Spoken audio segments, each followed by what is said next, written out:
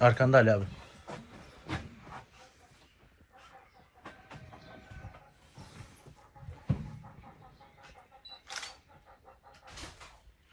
Ta yolda. Şöyle dibe kalacak. Dur. Yavaş koy.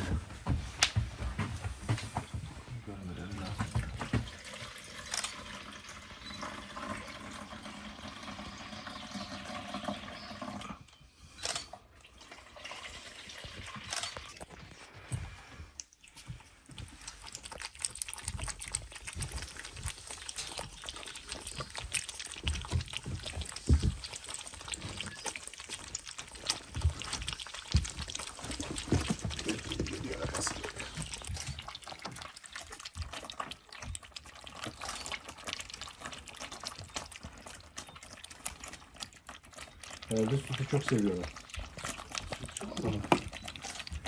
Tamam sütten başka bir besin yemiyorlar.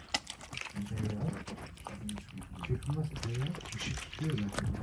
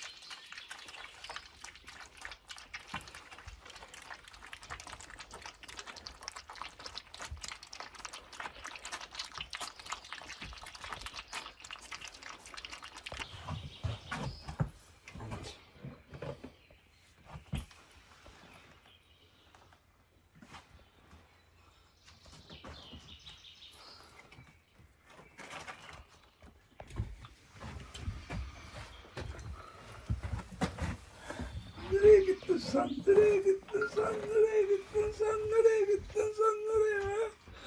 Nereye gittin? Anam çok mu korkuyorsun?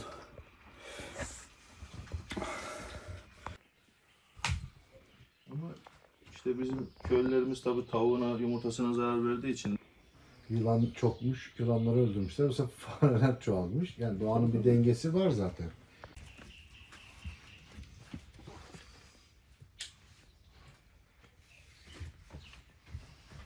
Şöyle sen elini al abi de fotoğrafı çekelim seninle. Röportaj yaparken bunları. ele almasak onu ya. Müdür bey şey yapıyordu.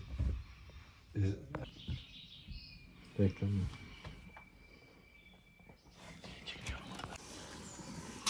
Yozgat'ta e, bir e, duyarlı bir vatandaşımız tarafından e, milli parklara getirildi.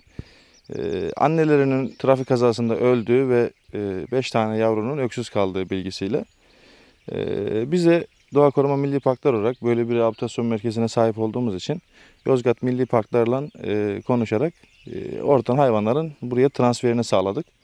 Şu anda e, olduğumuz yerde bakımları yapılıyor. Şimdi şöyle söyleyeyim yavruların sağlık durumu çok iyi. Şu an 6 haftalık. Yaklaşık 6 aylık olana kadar biz burada bakımlarını sağlayacağız. Rehabilite işlemlerini yapıp sonra tekrar doğaya salacağız. Burada zaten e, alan e, insanlardan uzak bir nokta. Tamamen doğanın içinde yaban hayatının birebir yaşandığı bir e, habitat. Biz burada bu hayvanları rehabilite edip hani uyumunu sağlayıp doğayla ilgili sonra tekrar yaşam alanlarına geri bırakacağız.